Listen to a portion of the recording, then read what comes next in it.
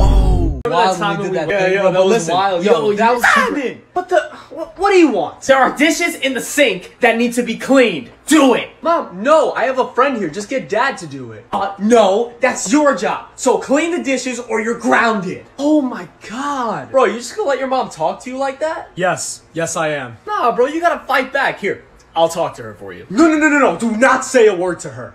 Oh, please, what's the worst that could happen? A lot. So don't talk to her or else you're gonna get. Uh, hey, Simon's mom? what? Uh, I just want to talk to you about the way you're treating my friend over there.